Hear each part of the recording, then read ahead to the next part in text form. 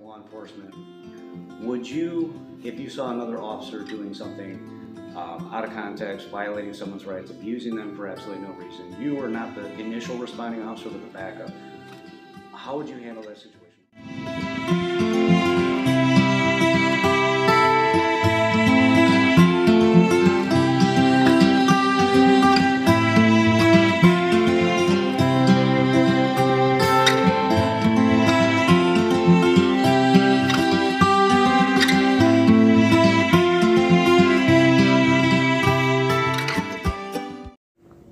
Right, so this is Viper One Actual Media Productions doing an interview with Officer Ethan Anderson of the Elwood Police Department.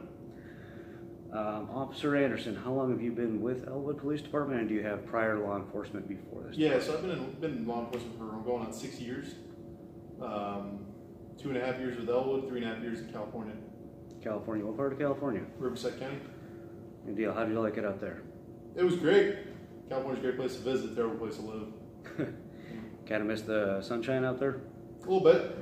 All right. Um, so, in light of the recent events this year, we've had a lot of negative um, outtake on law enforcement. Um, could you just give me kind of a day-to-day walkthrough, just kind of a brief of how your job is with the community and how positive it should be? Um, so here at Elwood, we're uh, very much traffic oriented. So a lot of the interactions we have with public are via traffic stops. Um, so day to day, you know, you try to just enforce the law while keeping people in a positive attitude. You know. So, All right. Any bad interactions? You I know? mean, there's bad interactions you know, all over the place with people, um, you know, not wanting to get stopped, not wanting to be late for work, stuff like that. But you know, it is what it is. All right. And how do you think the community here, at least, feels about the uh, police department? Our town loves us. Our town loves how transparent we are, how active we are with our community. A lot of our officers go out and play basketball with the kids, go door to door talking to neighbors and whatnot. They love us. They're very supportive of us.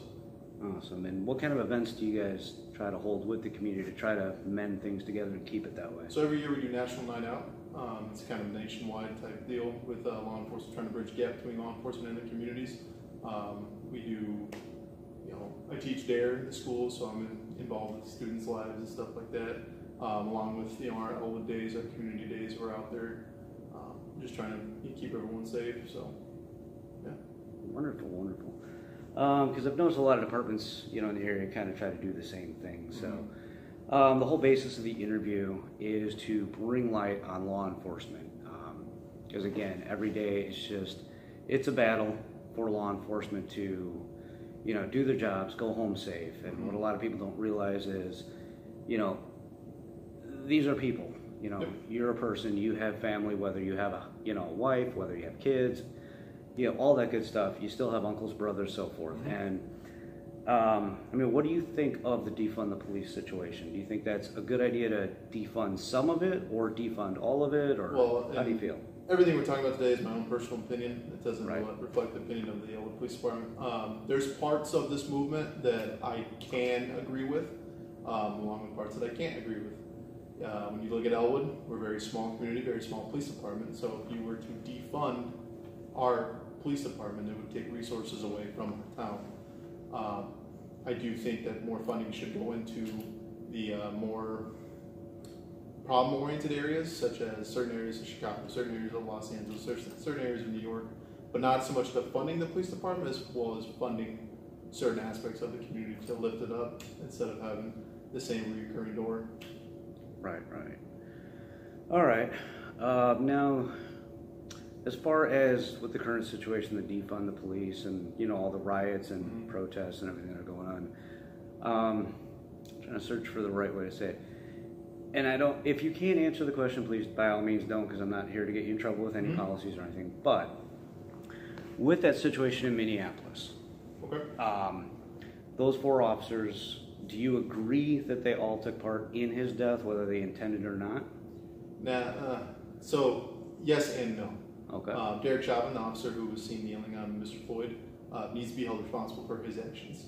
Um, there, there's also body cam footage, there's statements, there's stuff made from the other officers attempting to gain control of the situation. Um, I feel like those officers need to be held accountable for not not, you know, we have the, uh, we have the duty to, what's the word I'm looking for? We have the duty to intervene. So the officers that didn't intervene, that could have, need to be held responsible. But the officers that attempted to intervene, I feel like probably should be held a little bit different than the category of Derek Chapman. So with everything that's been going on as law enforcement, would you, if you saw another officer doing something um, out of context, violating someone's rights, abusing them for absolutely no reason, you were not the initial responding officer but the backup, how would you handle that situation? Would you hold that officer accountable or would you just go with it and deal with it later? So personally, I believe in the peer policing method. Um, we're only as good as our partner. So if our partner steps out of line, it's our duty to number one, get bring that to their attention.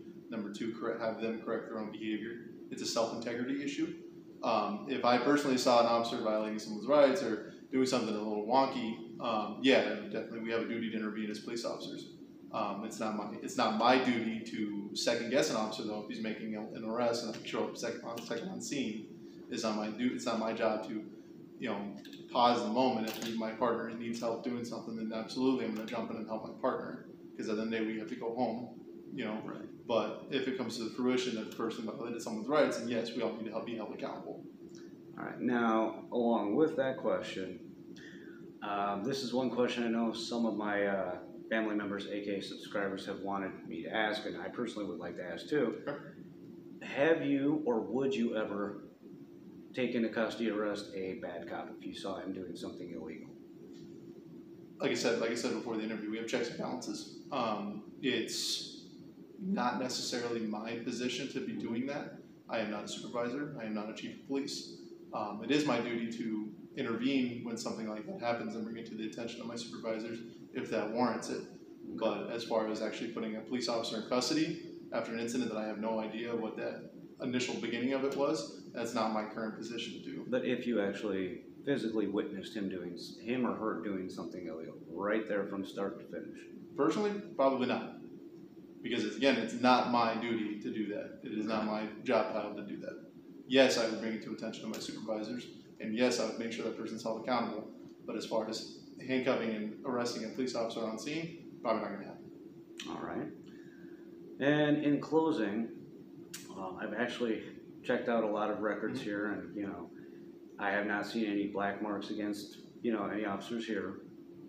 And is there anything you would like to say as far as a positive note to not just the community but also law enforcement as a whole? Any kind of message you want to send out there in light of all the circumstances that are going on right now to try to help basically bring the community back with the police? Well, a lot of times when I tell people who are saying, you know, all cops are bad cops, you hear the ACAB, all cops are bastard. We're not. You know, this is what I do for a living, this is not who I am. I'm a father, I'm a husband, I'm a son, I'm a brother. Um, I do everything I can every day to make the world a better place, a better place for my children to grow up in. And all I want to do is help people. I didn't come in this, this I didn't come in this line of work to put, you know, to put the marks on people. I actually joined here to help people and make a positive impact on people's lives. Awesome deal. And that's a lot of, that's how a lot of officers feel as well.